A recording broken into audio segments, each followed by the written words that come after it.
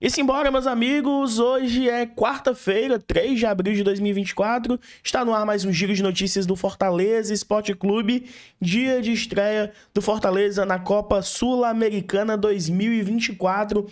Trago mais informações aqui de onde você assiste esse jogo e te dou uma dica especial, tá? Te dou uma dica especial aqui neste vídeo, fica para não perder, beleza? Também falo do atacante que o Fortaleza contratou, mas tem um mas aí que é meio confuso de entender. Trago aqui todas as informações, vendas de ingressos para final também, tudo isso e muito mais aqui em mais um giro de notícias do Fortaleza Esporte Clube, mais um Giro BL. Chega deixando tua curtida, teu like, teu joinha para fortalecer o trabalho, que é super importante.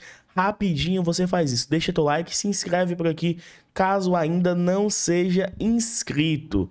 Hoje, como eu falei, estreia do Fortaleza na Copa Sul-Americana 2024.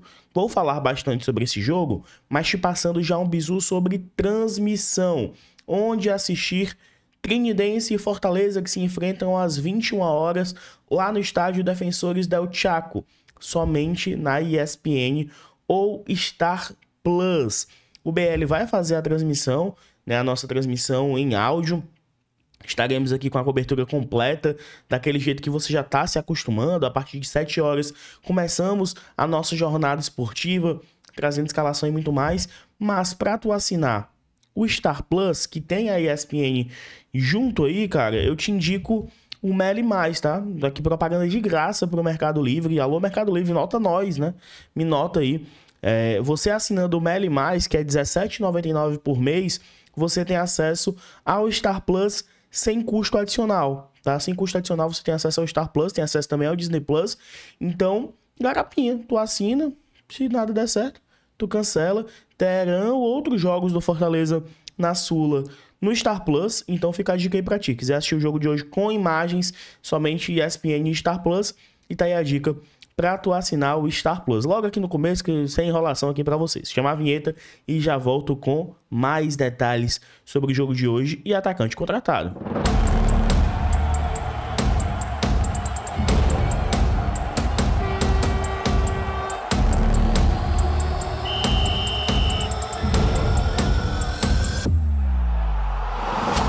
Salve, salve nação tricolor, Dudu Damasceno na área. Vou confessar que estou baqueado, né? Tô gravando esse vídeo aqui no sacrifício, mas o compromisso com vocês de ter quase sempre, né? Que às vezes eu falho, o vídeo aqui das 5 da manhã. Como falei, estreia do Fortaleza na Copa Sul-Americana. Já passando aqui para você todos os seis jogos do Leão, né? A gente estreia hoje contra o Trinidense lá no Defensores del Chaco, no Paraguai, às 9 horas da noite.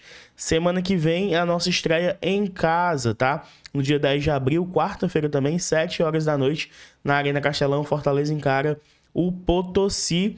E na sequência, né, no terceiro jogo já, Fortaleza e Boca Juniors também em casa. Então, assim, né, pensando nesse, nessa primeira volta, né, nesse primeiro turno, digamos assim, uh, o jogo que talvez seja mais tranquilo, talvez o adversário mais frágil seja o Trinidense, que é vice-lanterna lá do Campeonato Paraguaio. Aí você fala, pô, Dudu, mas Fortaleza tem pego adversários é, fáceis também, isso é complicado. Então, exatamente.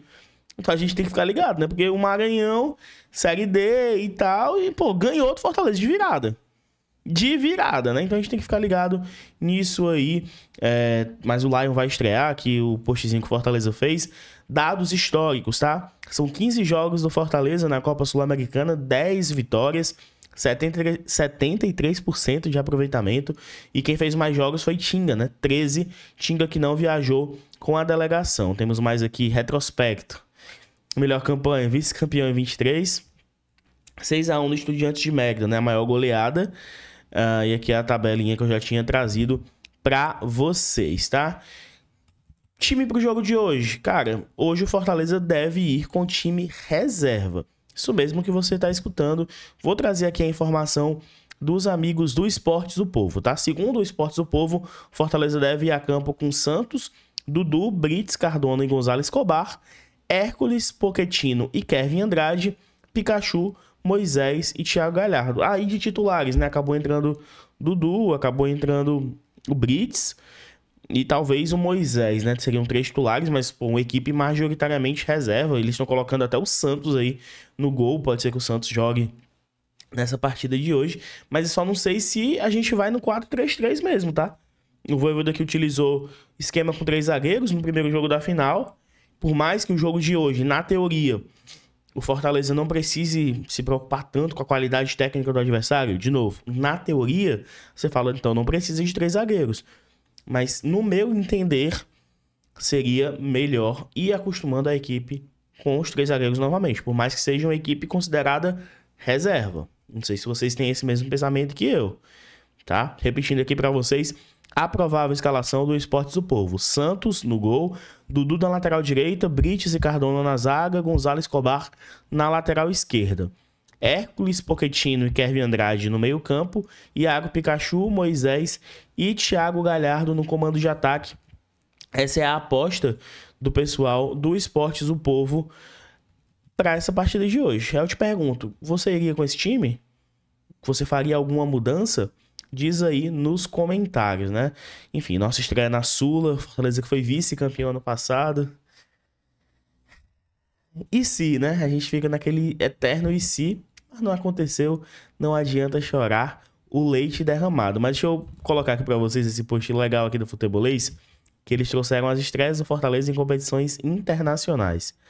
Em 23, a gente goleou o Palestino na estreia da Sul-Americana, 4 a 0 E também em 23, na estreia da Libertadores, empatamos com o Maldonado em 0 a 0 fora de casa. Em 22, perdemos para o Colo-Colo na Arena Castelão por 2 a 1 Detalhe para o Luceiro aqui, jogando no Colo-Colo ainda. Em 2020, estreamos perdendo para o Independente por 1 a 0 fora de casa. Detalhe também aqui para o Silvio Romero com a camisa do Independiente. Essas foram as estreias do Fortaleza em campeonatos, campeonatos né? Competições internacionais balizadas pela Comembol. Mas enfim, nem só de Sul-Americana se, se faz esse vídeo. Tem também contratação, isso mesmo. Contratação mais ou menos, tá, galera? Porque simplesmente, vamos lá. A manchete é a seguinte: Fortaleza contrata Guilherme Cachoeira, jogador do Joinville. Aí tu fala, pô, Dudu, é base e tal? Não, ainda não, não. 21 anos. Aí tu fala, vixe, como assim? Fortaleza contratou Guilherme Cachoeira e emprestou para a equipe do Remo, tá? Para a disputa da Série C. Que a informação do Poliodro Júnior. Remo anuncia a contratação do atacante Guilherme Cachoeira, ex-Joinville. O atacante foi adquirido pelo Fortaleza com um contrato de quatro anos e prontamente emprestado pelo clube cearense ao Remo para a disputa do brasileiro. Vale lembrar que quem é o executivo de futebol do Remo é Sérgio Papelina, que esteve até final do ano passado é, à frente do futebol do Fortaleza, né?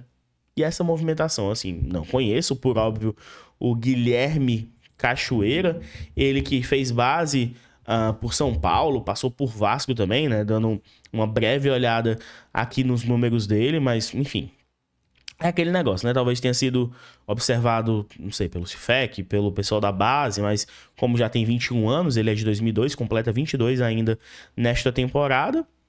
Contrato longo, né? 4 anos. Empréstimo para a equipe do Remo. No Joinville, essa temporada foram 13 jogos, 4 gols e 1 assistência. Ele é ponta esquerda ou ponta direita, segundo o site O Gol, tem 1,67m de altura. O que, é que vocês acharam aí dessa contratação do Fortaleza? Diz tua opinião nos comentários, tá? Diz tua opinião nos comentários. No mínimo estranho, né? No mínimo estranho, mas enfim. Só para finalizar aqui, galera, uma iniciativa massa do Fortaleza, o Leão lançou uma camisa em homenagem ao, ao Dia do Autismo, não, mês do autismo. Uma camisa, muitas cores. Conheça os detalhes da nossa nova camisa especial em apoio ao Dia Mundial de Conscientização sobre o Autismo, feita pela Volt. Faça parte desse movimento e demonstre todo o seu apoio e respeito uh, ao respeito, inclusão e empatia já disponível nas lojas Lemos 1918 a partir de amanhã. Uh, parte do valor arrecadado com as vendas será direcionado para organizações sociais que trabalham com a causa autista, tá? Massa a campanha, também gostei da camisa. E detalhe, tá? Detalhe aqui para você que é a primeira camisa da Volt sem o leão da Leão 1918. Não sei se isso vai ser permanente, não sei se foi apenas nessa, vamos esperar aí que a camisa tradição deve ser lançada nas próximas semanas, né? Geralmente é lançada junto ao início do campeonato brasileiro, beleza? Vamos ficar aguardando. Uh, como eu disse, cara, o vídeo aqui no sacrifício. Tu vai comentar, sabe o quê? Tu vai comentar Força Guerreiro, né? Ô, meu Deus, ô sacrifício, né? Tô gravando aqui o vídeo pra vocês, meu Deus, ó sacrifício. Mas tô com a garganta aqui doendo pra caramba. Mas enfim, deixa teu like, se inscreve aqui, caso não seja inscrito. E ó, tá passando mais um vídeo para você clicar e seguir assistindo o BL. Um abraço a todos e valeu!